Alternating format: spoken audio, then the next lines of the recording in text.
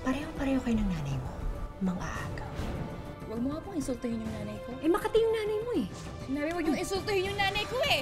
Sa ilang araw na nalalabi, Nagka-girlfriend ka na ba sa isla? Hanggang ngayon nga, oh, hinahanap ko pa rin siya. eh. Parang araw makakasama ko ulit siya tsaka makikita. tibay ng loob ang siyang masusubok. Parang nakagulo po ako sa pamilya niyo. Hindi ba kayo nagkakasundo ng tita Edith mo? Sa huling tatlong linggo ng Paray Sukoy Ikaw.